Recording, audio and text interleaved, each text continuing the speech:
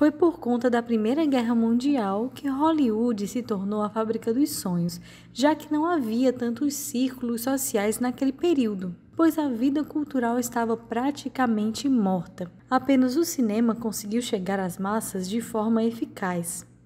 E é por isso que a sétima arte é considerada um dos veículos de disseminação da cultura de amplo alcance. Pensando nisso, eu sempre me lembro das grandes estrelas de Hollywood e de como elas envolviam o seu público. E um dos grandes arquétipos é a mulher fatal, que hoje se tornou um estereótipo bastante utilizado em muitos filmes. E para refletir um pouco sobre a influência dessas personagens na vida das mulheres reais, iremos falar nesse vídeo sobre algumas características da mulher fatal principalmente nos filmes Anjo Azul, de 1930, e Gilda, de 1946.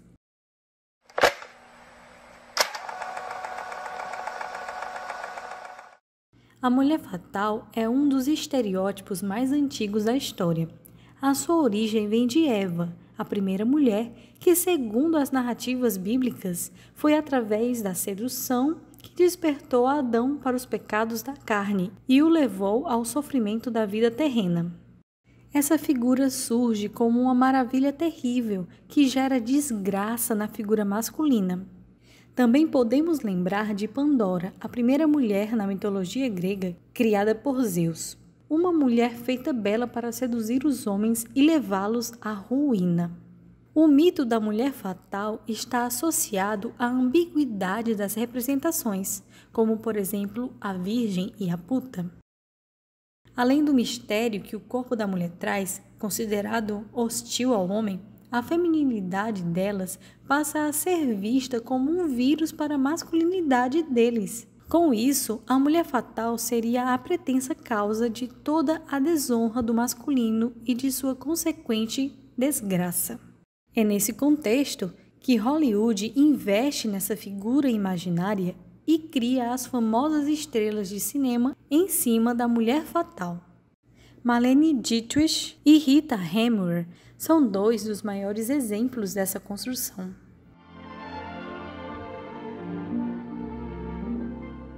O filme Anjo Azul e Gilda são exemplos que utilizam a mulher fatal. Eles contam histórias de mulheres lindas, liberais e de moral suspeitosa. Seus relacionamentos são bagunçados e envolvidos por desconfiança, ciúme e afrontas. E todas elas possuem um encanto hipnotizante que vem do seu aspecto misterioso. Essas mulheres se destacam pelos seus talentos, fazem shows, dançam, cantam, além de terem um estilo próprio de se vestir.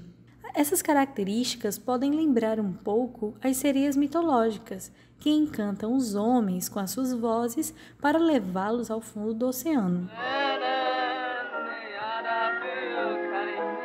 No filme Anjo Azul, Lola, interpretada por Dietrich, é uma prostituta irresistível e famosa que é a atração principal do cabaré que dá o título do filme. Essa personagem está acostumada a ter os homens aos seus pés e assim ela usa de seu encanto, educação e belo corpo para atrair aqueles que são mais inocentes, como o professor Anhet, homem íntegro, que entra no cabaré apenas para resgatar os seus alunos que parecem frequentar aquele ambiente. Tanto a personagem quanto a atriz eram um exemplo para as mulheres daquela época. No filme, as empregadas do cabaré ensaiavam as poses de Lola, como ela se comportava, se movia, como sentava. E da mesma forma acontecia na vida real. Todas as mulheres queriam ser Lola. Na opinião dos críticos, Dietrich era a representação perfeita da sedutora devoradora de homens e assim a atriz se tornou um mito a ponto do público confundi-la com os seus personagens. Ela mesma tentou desconstruir essa imagem em sua autobiografia e no livro de pensamentos O ABC de Marlene Dietrich. Anjo Azul traz todos os traços da mulher fatal e das consequências que ela causa. No filme, o rigoroso professor amolece o seu coração ao conhecer Lola e acaba cedendo aos seus encantos. Os dois se casam, mas Lola não deixa o seu ofício para viver como esposa. Pelo contrário, o marido é que é desonrado na sua profissão e vê a sua vida desmoronar diante dos seus próprios olhos até perder completamente a sanidade. Para a mulher fatal, o casamento é apenas uma questão de interesse econômico ou de reconhecimento social. Na sua narrativa, o triângulo amoroso é utilizado como detonador de desgraça e ruína dos homens, que geralmente podem vir tanto como marido ou como amante. No filme Gilda, por exemplo, temos a mulher como causadora do desequilíbrio entre amizade e negócios dos dois homens principais da narrativa. Johnny Farrell é um trapaceiro em jogos que consegue a confiança de Bali Manson, o rico dono de um famoso cassino em Buenos Aires.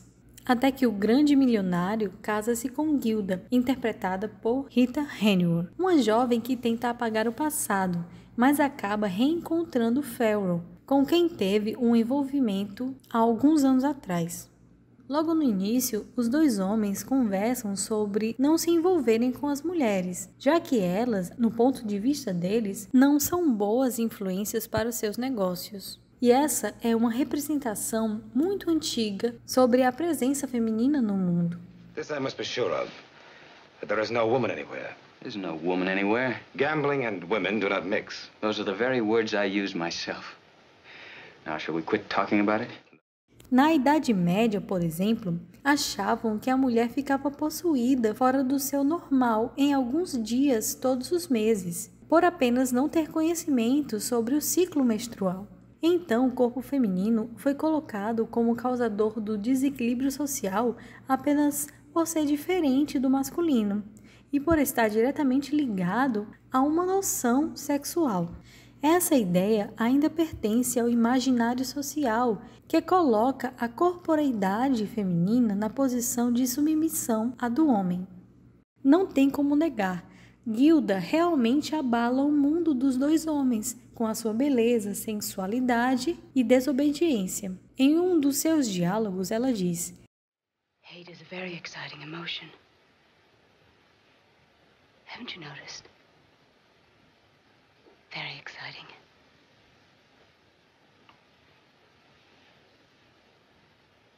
I hate you too, Johnny. I hate you so much that I think I'm going to die from it. E isso é um pensamento de uma mulher fatal, convicta. A atriz também foi ícone da sua época. Sua vida pessoal e profissional se misturavam e afetavam os seus relacionamentos. Ela mesma relatou que seus casamentos não deram certo porque seus maridos pensavam que estavam casando com Gilda, seu trabalho de maior destaque. That